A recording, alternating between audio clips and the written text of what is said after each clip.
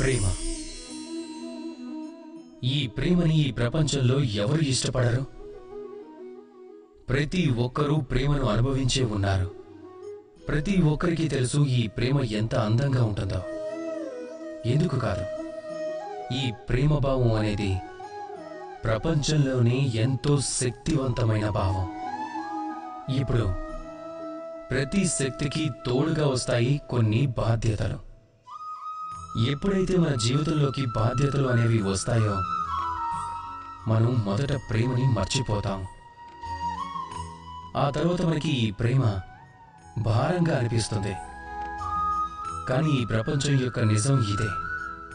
ప్రతి ఆనందంతో పాటు బాధ్యతలు అనేవి కూడా వస్తాయి. ఇక మనం వాటిని పాటించాలి కూడా. ఇప్పుడు నేను మీకు ఒక ఉదాహరణ ఇస్తా.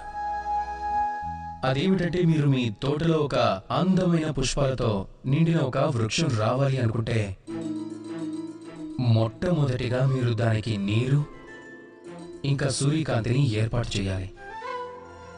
దాని వేర్లకు పురుగు పట్టకుండా ఎరువు వేయటం కూడా మీరే చూసుకోవాలి.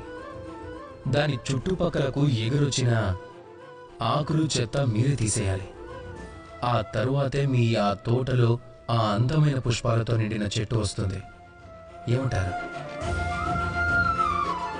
ఇక ఇలాగే ఉంటుంది ప్రేమ కూడా. మొట్టమొదటిగా మీరు దానిలో అంకితమయ్యే ఎరువు అనే నీరుని పోయాలి. అపనమ్మకం మరియు సందేహం అనే పరాకాష్ఠను మీరు తొలగించుకోవాలి.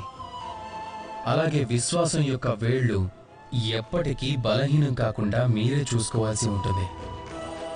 ఆ తరువాతే ప్రేమ యొక్క నిజమైన ఆనందాన్ని మీరు అనుభవించగలరు. రాధాకృష్ణ.